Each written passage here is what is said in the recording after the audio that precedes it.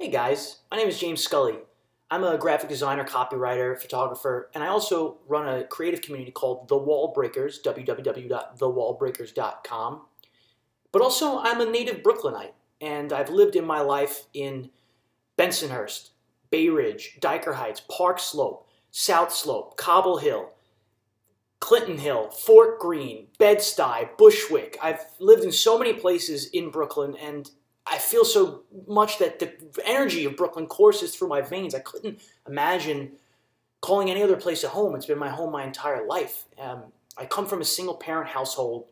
My mother was 22 when she had me. My father dropped out of the picture, something I have a lot of empathy towards him for now as a 29 year old man. I can see why somebody would do that. But I grew up in a household with 10 family members, with my grandparents, my great grandparents. I had an aunt who was my grandma's younger sister, a family dog. I was raised by three generations of women. And uh, because I didn't have one central male heroic figure like a father to look up to growing up, I had to basically figure out for myself who I wanted to be as a man and what kind of heroic figures that I should emulate, men or women, it didn't really matter in that way. And growing up in a place like Brooklyn, that's such a tough, hard kind of place to go to school where kids are always making fun of each other. Nobody wants to be vulnerable because vulnerability means that, you know, you're showing weakness. But we all know that actually vulnerability means that you show strength because you're willing to be vulnerable.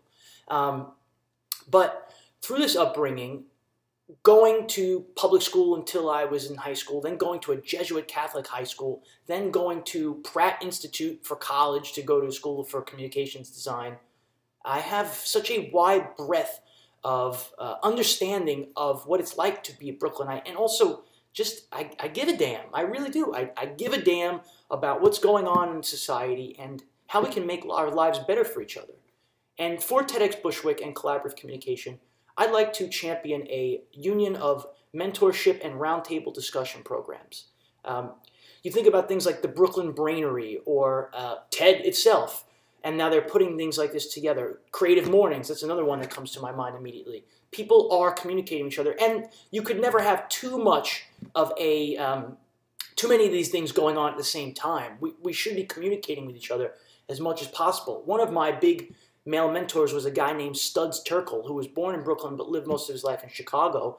And he wrote books like Working, and uh, he was somebody who on his deathbed said that he wanted to be remembered as a man who brought trouble where trouble was needed that resonated with me very, very concisely. And in 2012, I was stagnant in my career, or feeling so, as a graphic designer, and launched a creative community called The Wall Breakers, like I mentioned earlier, to help connect people to, I guess, in the end, I learned how to be a conduit because when you shut down Facebook and you just look around at life and you remember that, oh, wait, social media, oh, this crap, it, it's not real. What's real is a human connection.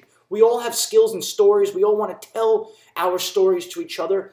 And when we do that, when we communicate, when we build a community with each other, those fears that we put in our minds when we don't know things, the fear of the unknown itself, it goes away. And then we realize that insecurity is pointless and vulnerability doesn't lead to bad things. It actually leads to strength and confidence and, and learning who we are on the inside and self awareness. And I think it's incredibly important for the community of Bushwick and the outlying areas in Brooklyn as well that we continue to share our stories with each other. Some of us are doing bad, some of us are doing good.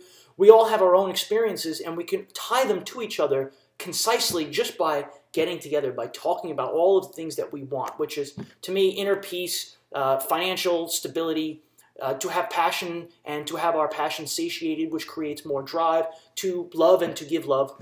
And the more we do that, the more we sit and we talk to each other, the more we can develop a mentorship program. Or we can sit and say, hey, man, you know, my tax bracket was this this year. I'm really scared about these things. Oh, I just went through that last year and I found out these things by talking to my accountant. Boom, communication, collaborative creativity. Society is a collaborative creation. And we can choose, regardless of what the politics are out there in the world, regardless of where your uh, feelings lie, chances are we want similar things and we want to feel like the things that we know we are on the inside of us, we can have an outlet for them. We can learn more about them. We can partner with people who have similar skills. And union as a word is something that these days people shy away from. Oh no, a union that's a that's a bad corrupt thing. But really, a term union is the joining of ideals and people. And to me, that's what I would love to champion under TED with TEDx Bushwick. A, a mentorship program where people can teach other people things and roundtable discussions where people can let those fears out. We all have them.